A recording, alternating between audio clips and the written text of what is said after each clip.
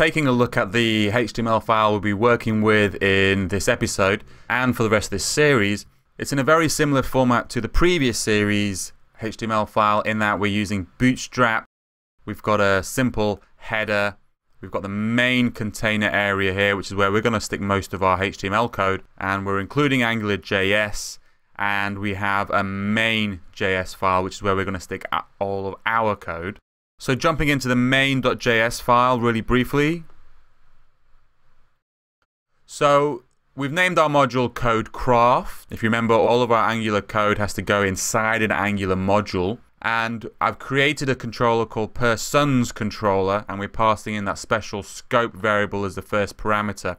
I've added a variable called persons, well, an array called persons with a load of random data. Before you get excited, this is uh, fake data that I've found from the internets. So don't go try calling any of these numbers. Well, you can if you want, I don't care. So we've got a large array of people here, and what we want to do in this episode is to render all of this beautiful data inside a table.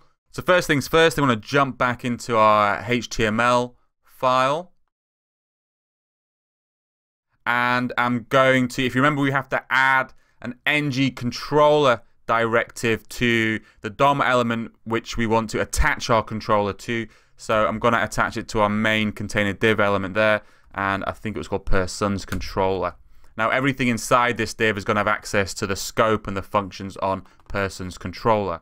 And the next thing I'm going to do is just start adding in the HTML table elements. So there you go. Now because we're using Bootstrap, I'm just going to add in some nice classes that Bootstrap provide just to pretty things up a little bit. And then I'm going to add the column headers. So I think I want to use four column headers. I'm going to use, I'll leave the first one blank for now. I want the name, I want the email, and I want the birthday. And the next thing I want to do is I want to start adding the rows. So let me scroll up a little bit. So I'm going to add tr, and then I'm going to introduce you to the main directive for this episode and actually this series, which is ng repeat. I'm just going to flesh this out a little bit.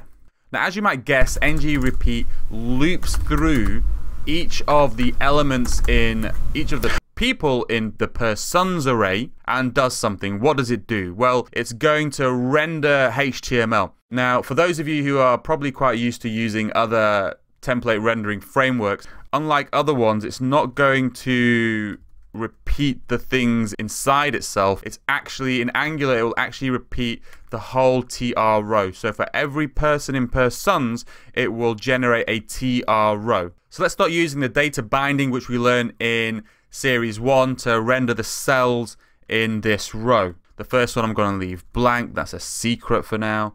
Uh, but let's add the rest. So I'm going to add, so it's person is the variable. So I'm going to add person.name.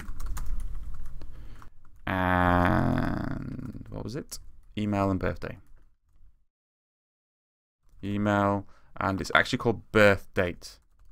So just so we're clear, I'm going to flip back into the JavaScript file. So these are linking up to the attributes in this object. So name, email, and birth date. So let's jump back into the HTML.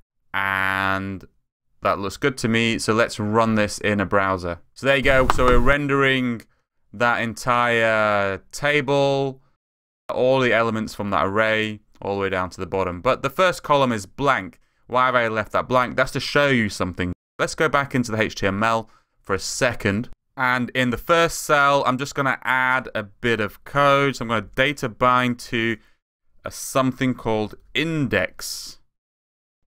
So index refers to the array index in persons that you're looping through. So it will start from 0, then 1, then 2, then 3, etc.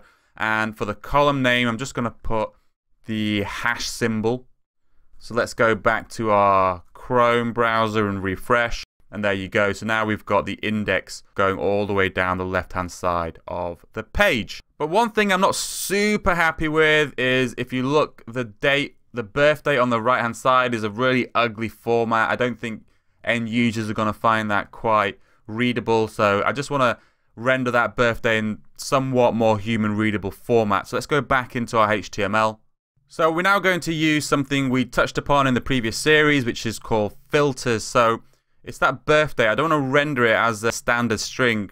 I want to pump it through a filter. Now there's a built-in filter in Angular called date, where you can pass in the to the date a parameter. So that's what this syntax means. So it's going to pass the birth date variable through the filter date, which is just a function. And that date function is going to take a parameter which you define by colon and then uh, either a string or a number or something along those lines. Now, the date can take format as a, if you're aware of date formatting in every single language out there, it's going to have its own format specifiers. But we also have a built-in one in, in Angular called long date, which I'm going to use here. So let's go back into our Chrome browser and see what that looks like.